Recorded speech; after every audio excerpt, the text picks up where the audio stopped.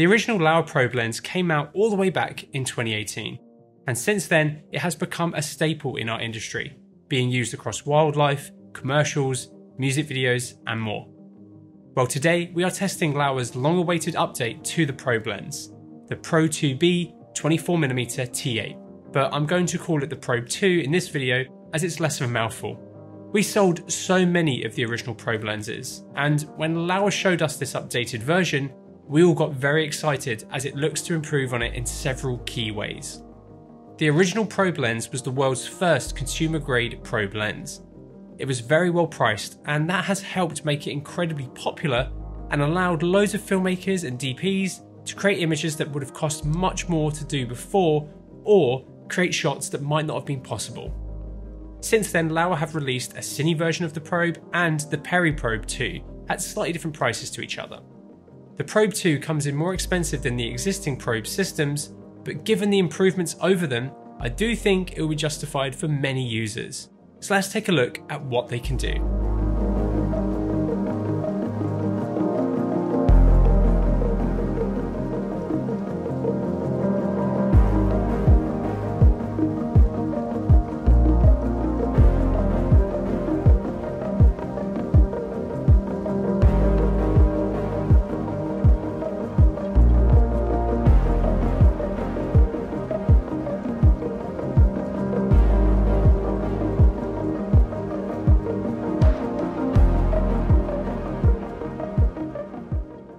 We really wanted to put the Probe 2 through its paces, and for this we shot some coffee and our very own lens extraordinaire Gary's gorgeous Omega Speedmaster. We chose to shoot mainly in our studio as this lens is going to be used a bunch for product and advertising work in these kind of environments. Though of course it will also be used across other areas of filmmaking like wildlife and film. For this shoot we used a bunch of light to try and craft a nice image while also shooting at some higher frame rates with our Red V Raptor, and I think we achieved a nice balance without underexposing too much. For this we had three Aputure 600 fixtures and a couple of other random fixtures dotted around doing different things. It all got very bright, so bright that I even popped on my sunglasses to help see. We also had the beautiful Cinetech Super Falcon Dolly 2 in the studio to shoot on, which is not only rock solid, but also an absolute pleasure to use. We had a few ideas for shots in our head, but a lot of these were very improvised while shooting. Overall, we are really happy with the results, even with the challenges that come with lighting such high t-stops, high frame rates, and close focuses. When we shot with the original probe, I remember thinking that it was a bit soft, but not with this lens. It's incredibly sharp, and the images are very clean from chromatic aberration. As the probe uses the same 24mm focal length as the previous probe, it means that you can get some very weird, unique wide angle macro shots with large depth of fields. One thing that we did notice during our testing was that the 35 degree module seems to have some kind of matte in the front lens group that seems to affect the image when shooting with the lens orientated to the side like this. We reported this back to Laowa and they have assured us that this is not going to be the case with the full production units that you'll be able to buy. We actually should have the lenses in stock now, so if you want to buy your own Probe 2 or any other filmmaking or photography gear, head over to cvp.com where our experienced team is waiting to help you. This new lens has been designed for cinematography, unlike the original Probe, which was initially a stills lens. This new lens comes PL mount as standard, but it features a user interchangeable mount. This means that you can easily switch from the standard PL to any of the available mounts that Laowa offer. Laowa will be offering mounts for most common mirrorless and cinema cameras on the market, so no matter the camera you need to use the Probe 2 on, you will be able to natively. The lenses come with shims in case you need to adjust its back focus, which you will want to check if you swap out from PL to one of these other mounts. The Probe 2 have standard 0.8 pitch gears for controlling focus and iris with industry standard focusing kit. It has a focus throw of 150 degrees and an aperture throw of 50 degrees. The focus marks are tight, but better than the previous probes. The lens as a whole feels much more robust and well put together than the previous probe lenses. There are three different modules for the Probe 2, which you can swap the rear lens module between. A 0 degree, which is similar to the original probe, it's a simple regular angle straight lens that can produce the regular, unique, and interesting macro shots that you expect from a probe lens. Next is the 35 degree module, which also uses a straight barrel but angles the lens to give you a different perspective. Lastly is a 90 degree periscope design module, which I'm sure people are the most excited for. This lens looks a bit crazy on the front of your camera, and all three lenses are quite a bit larger than the previous probe lenses. These new 35 degree and periscope versions allow you to get very different shots from the regular probe. They made us all start thinking creatively on how to use them to get shots that we couldn't normally do. The periscope could be used to get shots lower to the ground and higher up easier, and can result in some very interesting perspectives. Each module is available separately as a lens, or you can buy a kit with all three in a single case, with them each coming with a rear lens module. So they are really easy to switch between when shooting. Swapping modules is fairly easy. You just loosen off the screw here and then unscrew the module using this silver ring.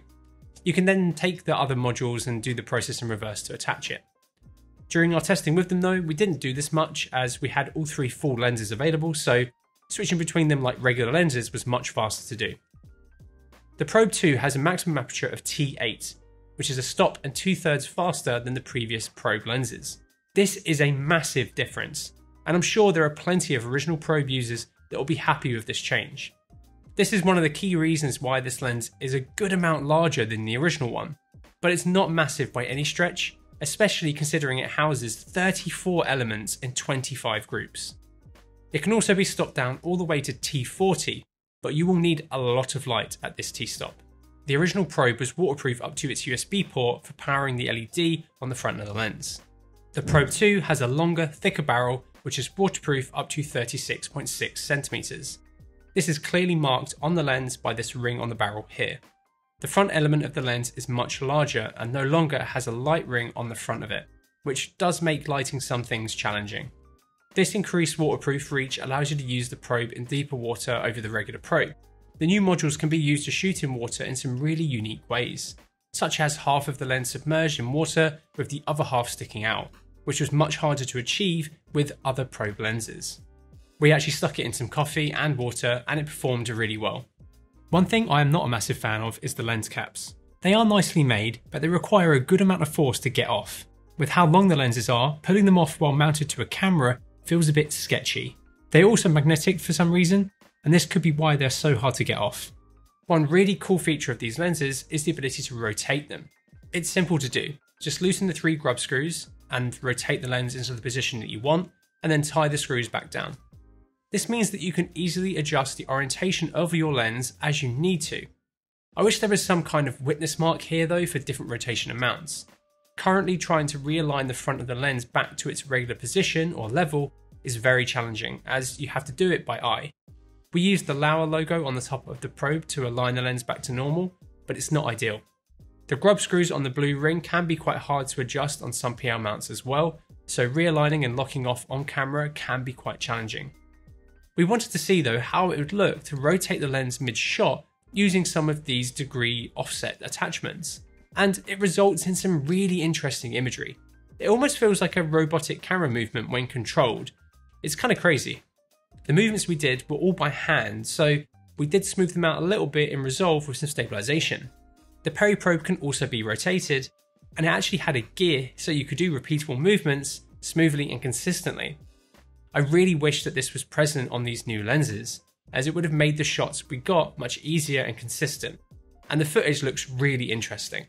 The Probe 2 has a rated image circle of 43.2mm, which will cover plenty of full frame sensors, but may vignette on slightly larger ones. Across the lenses, you should be happy with their performance on full frame cameras. However, if you plan to run these on one of Red's VistaVision sensors, you may run into some vignetting towards the corners when using the full width of the sensor. 8K 16x9 should work for most though, if you don't mind some light fall off in the corners. If you want to see exactly how the lenses cover your chosen camera and format, head over to our lens coverage and camera comparison tool, link to which is in the description below. As you would expect, given it's a macro lens, there is some lens breathing across the lenses. But for the focus pulls that you will most likely be doing with this style of lens, I don't think you're going to notice it too much. The lenses have a close focus of 4mm, which results in a 2 to 1 magnification. This is insanely close, so close that we found it really hard to light our chart tests. However, it performs well close to it, which is good as I'm sure it's going to be used mainly focused this closely. We shot a lot of our creative footage at close focus and it looks fantastic. When it comes to bokeh, Laowa has done a good job of making all three attachments pretty similar. Wide open, we can see a good bit of texture to our out of focus highlights and a pretty defined edge to them with a slight bit of colour. The shape is good, but not perfectly round anywhere in the frame wide open. At T16, we can see the 10 iris blades forming our highlights and similar character to wide open. Overall, I think the out of focus areas look pretty good here, and it does roll off nicely when you're at close focus. A lens's flare characteristic is an incredibly subjective thing some may like and some may not.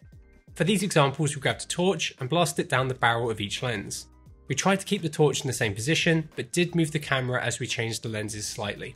All three lenses have a touch of barrel distortion, but it's quite minimal and shouldn't affect your imagery too much. Right, let's take a look at how sharp the lenses are. For this, we shot all three of the new probe lenses and a copy of Laowa's Peri probe. We matched the field of view by changing the distance of the camera on our slider. This became very challenging though when using the different degree attachment modules, but we matched them as best as we could. Starting with the zero degree probe, wide open, we can see some blooming across the frame, which goes as you stop down. This is a loan unit from Laowa that we haven't adjusted. Performance here could potentially be better if some time was taken by an optical engineer to realign the lens. There is a touch of CA in the corners, but this is very minimal. When stopped down, the lens really bites up in the center and the corners. If you want the best out of this lens, stopping down a bit makes a big difference. When compared to the original probe at the same T-stop, the new probe is so much better with much less CA and more overall contrast and sharpness. We actually had to move the position of the Peri probe quite a bit as it has a much wider field of view compared to the new Probe 2 lenses. The 35 degree module performed quite similarly to the 0 degree probe, whereas the periscope for us was the best performing out of the bunch, with the best performance wide open across the frame. Overall, the lenses perform well, and they are a good improvement over their predecessors, especially wide open, and even when both are stopped down to T16. From our testing, the lenses have a touch of CA, but it's incredibly low, and even with some very harsh lighting conditions, they performed really well. They are much cleaner compared to the older probe lenses. The lenses have a slight colour shift between each other. The 2 degree module attachments are the closest in colour, with the 0 degree one being the most different, with a roughly 2 to 300 Kelvin difference between it and the other two lenses. This new probe system is going to be a massive upgrade for so many people who loved the original lenses. However, I do still think that the original ones have a position in the market. They are more affordable and will be better for certain setups especially the Peri probe. Optically, the Probe 2 is far better in every single way, but it is much larger in comparison, so it could limit how you use it over the other lenses. The Peri probe also has a gear for rotating the front of the lens, which I really wish these lenses had. Though the Laowa Pro 2 is a worthy successor to its legendary predecessor. Its faster aperture, improved image quality, added versatility, robust design, and uniqueness make it a joy to shoot with, and it sparked so much creativity in our office. Even people who work in the office who aren't in the creative department have been intrigued by it and suggested ideas of what you could shoot with it. They really are an excellent set of lenses, and I'm incredibly excited to see what people come up with to shoot with them. Anyway, let us know what you think of the Laowa Probe 2, and if you have any further questions down in the comments below. And if you like the video, please give it a like, and maybe consider subscribing so you don't miss out on our awesome upcoming content. And thank you so much for watching.